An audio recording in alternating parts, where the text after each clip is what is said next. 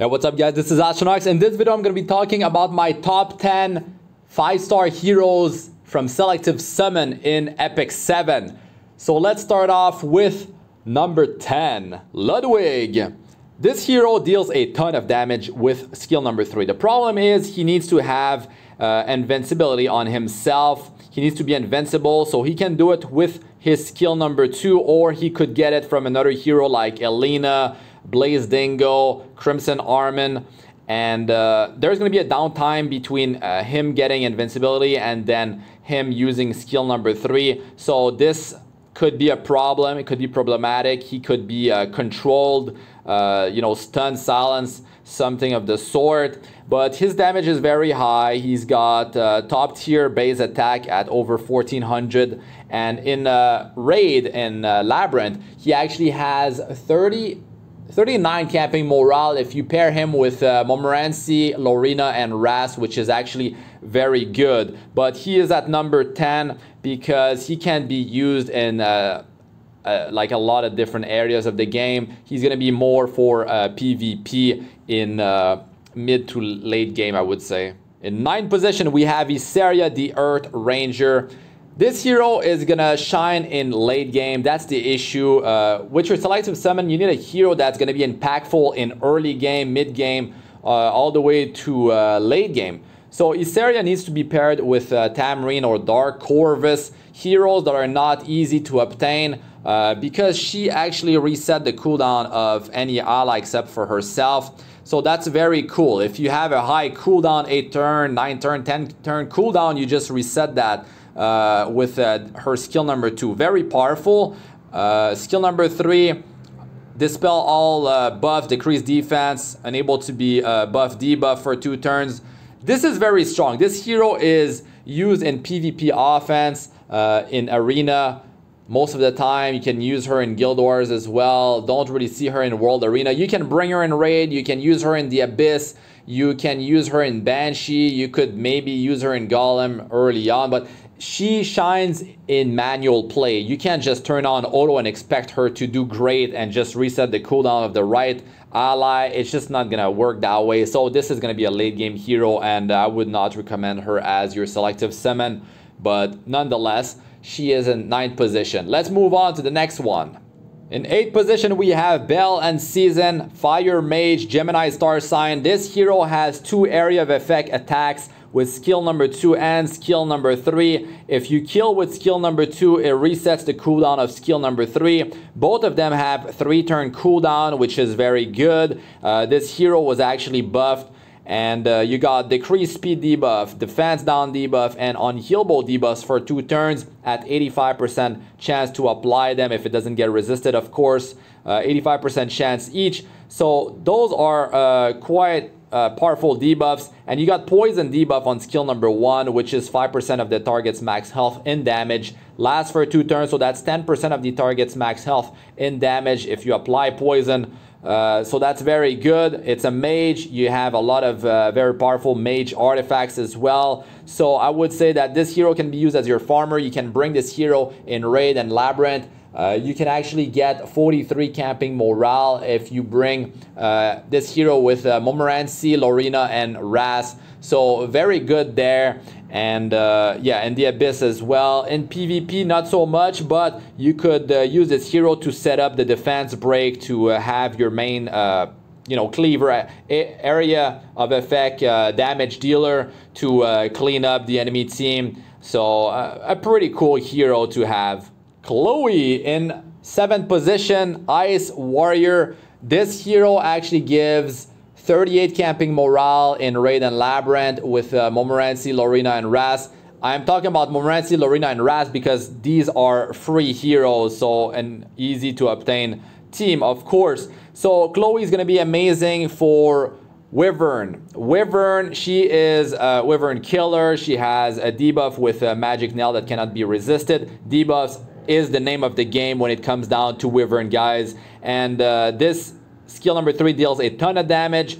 You have an exclusive equipment for her as well. One of them uh, decreased defense with skill number three. One of them uh, has a 50% chance to get an extra turn with skill number two. So I would say this hero is not used in too many areas of the game, but you can successfully use her in uh, Wyvern. You can use her in the Abyss. You can use her especially in Raid to deal a ton of damage to uh, the boss.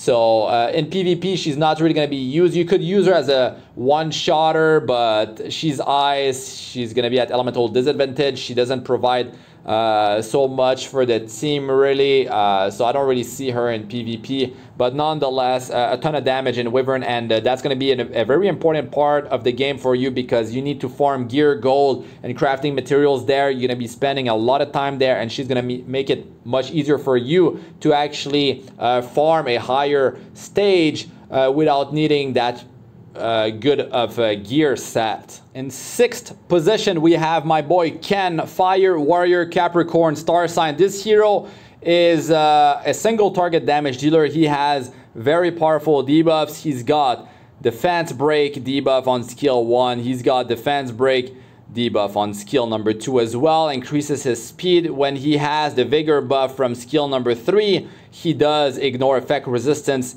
uh, to apply defense break. You can soul burn skill number two to get an extra turn. The combo of skill two into skill three is very deadly in PvP. This stuns decrease attack for two turns and gives you the vigor buff, uh, which increase your attack and defense by 30%. This hero is going to be used in Golem.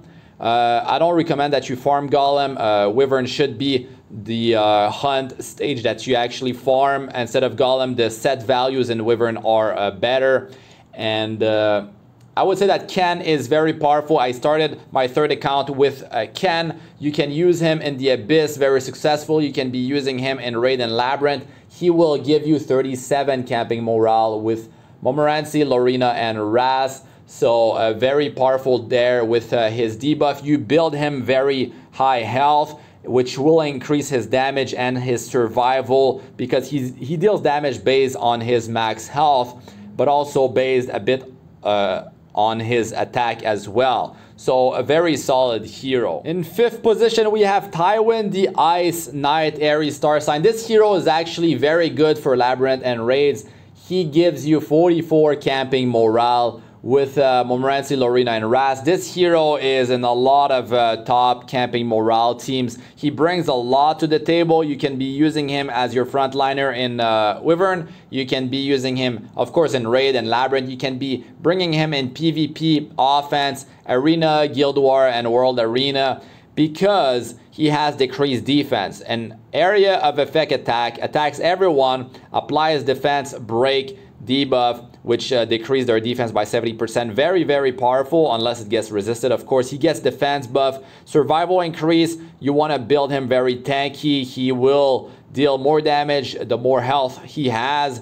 And skill number two is insane. Increase attack buff. Attack buff for the target and himself. And critical hit chance buff, 50% crit chance increase. Very, very strong. And 30% combat readiness increase as well. Uh, so you can soul burn his skill number three into skill number two for some insane amount of damage. Very, very deadly. This spell on skill one. Uh, an amazing hero for sure can be used in multiple areas of the game. Frontline him in uh, Wyvern and he can hold it. Not the best hero to hold the front line, but still he will bring uh, some useful, uh, useful things for the team.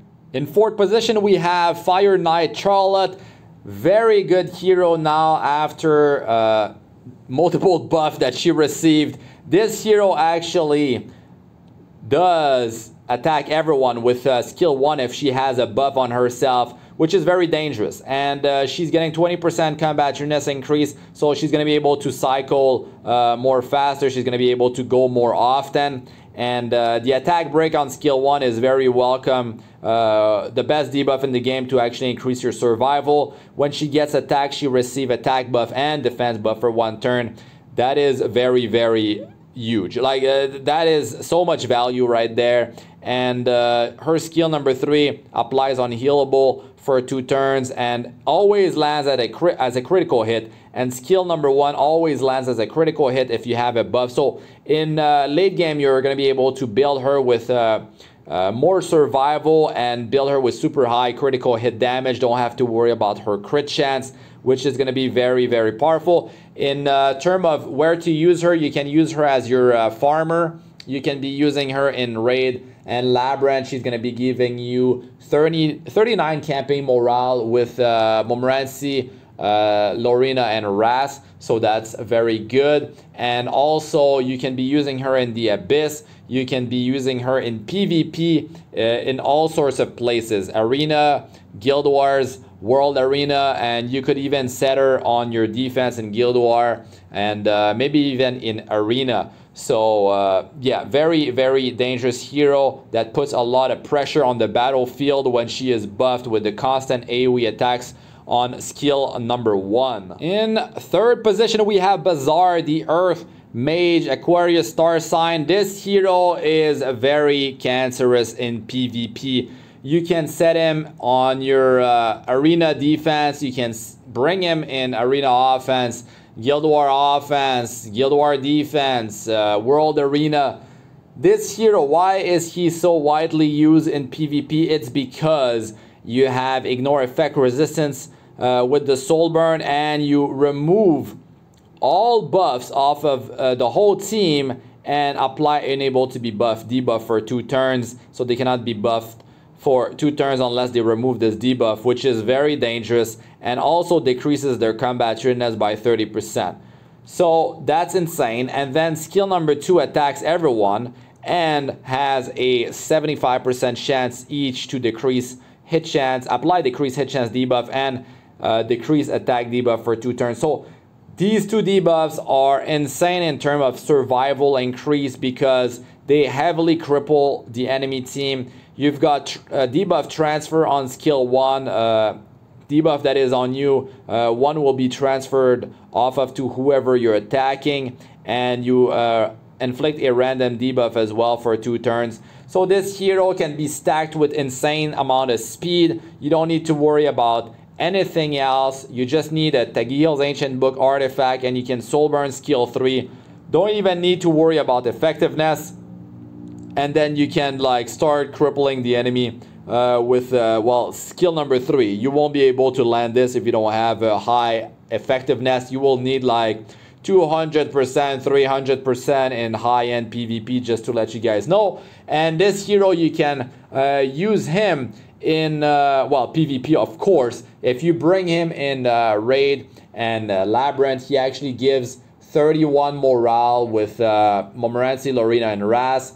Uh, I have, I wrote like with Alexa 35 morale, with Maya 34 morale, but he is definitely a PvP god. Uh, you could be using him in PvE as well. I mean, uh, Raid Labyrinth, you can just cripple the enemy team, uh, remove buffs of the uh, the enemy, the buff, uh, the boss, or whatever. Uh, in the abyss as well, those debuffs are gonna be super handy for uh, crippling them and lowering uh, their damage output toward you considerably. So yeah, a hero that is not gonna be useful early on for you that much. It's gonna be a hero that shines in late game and yeah, so this is more for advanced players, not a new player that starts Epic 7, unless you're really gonna be into uh, PvP and you want to hold off uh, up until like you're ready to uh, get into uh, PvP more seriously. But uh, yeah, definitely a very uh, powerful hero, and I would say even overpowered in PvP because what he brings to the table is just too much. But you need a team to back him up. You can't just have him. He won't solo the enemy team. Like he won't be doing damage. He will be crippling them. So you can actually uh, do something against them and make it easier for you. In second position, we have Vildred, the Earth Thief Leo star sign. This hero is a speed farmer. You can use him in so many different areas of the game very very powerful and dangerous he's got speed memory imprint that means like if you want to go first in pvp this will help you out But Vildred, you can use him uh, from the start of the game all the way to late game, no problem. This hero deals a ton of damage. It is actually quite ridiculous. And he uh, just attacks everyone with uh, skill number three. This scales based on his attack and his speed. Soul burn 10 souls increases the damage dealt, uh, lowers the cooldown to 4 turn. When he actually lands any sort of kill to anyone with skill number 1 or 2, uh, 3, uh, he will get attack buff, increase attack by 50% for 2 turns, and he will just uh, attack everyone with uh, because of this passive Dancing Blade and also he will be getting 20% of his uh, gouge. His uh, combat units will increase by 20% when he kills an enemy. Very dangerous there. And skill number one attacks two enemy uh, at the same time. So that's a lot of damage increase there. So where can you use this hero? Well, you can use him in Raid and Labyrinth. He gives 42 camping morale when you use him with uh, Montmorency, Lorina, and Ras. Uh, just for an example, this hero, you can use him in adventure on recorded history. Your speed farmer, he's going to be clearing stages very fast. The side story, you can be using him in, uh, well, sort of like in the abyss, I guess, but not so much, I guess. Uh, you can be bringing him in Banshee. Uh, Banshee Hunt can be very successful there. You can be using him in uh, Azimanak Hunt as well. Uh, PvP, all sorts of areas where you can be bringing him. Uh, you can bring him on offense, of course. Uh, so in Arena, Guild Wars, and World Arena, you can be uh, setting him on your defense as well. If you feel confident you're going to be going first, there's some combinations of heroes that you could be pairing him with. So you could counter uh, things coming your way, uh, like an Arbiter Vildred and, and, stuff like that. But uh, landing a kill allows him to go again because of Dancing Blade, and that is very dangerous. Even though we have Free Spirit Tieria, which could act as your farmer, we have 3-star Ice Warrior uh, Lena, which is very free to play friendly to uh, speed farm with. Uh, this hero still remains as a powerhouse in terms of uh, where you can use him and what can he do for you. Uh, so definitely a top tier hero to uh, start your account with even now. And in first position, we have Sigrid, the Ice Warrior Taurus star sign. This hero is completely insane. Goddess in Wyvern and Wyvern is definitely a place you're going to be spending a lot of time in and that's where you're going to be getting your gear, your best gear. You're to be getting uh, crafting materials. You're to be getting, of course, gold and reforging materials later on. So she's a big deal there and she's to facilitate this whole thing because she has debuffs and she has plenty of them. And debuffs is the name of the game when it comes down to Wyvern. So bleed two uh, bleeds for two turns on skill number one which is very good 50% chance she has an exclusive equipment one that increases the chance of uh, landing the bleeds uh, by 20% on skill one or boosting the damage of uh, sever skill number one by 20% and uh, skill number two 100% chance to inflict unable to be buff debuff and bleeding for two turns and when the enemy is at 50% health or lower, you activate Sever skill 1. So that's even more bleeding effects and more damage, which is very, very good. And you got a 100% chance to inflict the bleeding effects when this actually activates at 50% health or lower. Skill number 3 penetrates defense by 30% and an additional 10% per debuffs. Very good, super high damage. You can get six, uh, six digit numbers with uh, guillotine and it inflicts extinction when the enemy is defeated. That means they cannot be revived, so you can use her in PvP as well. So this hero, like I said, you're going to be using her in Wyvern, but you are also going to be using her in uh, Raid, Labyrinth.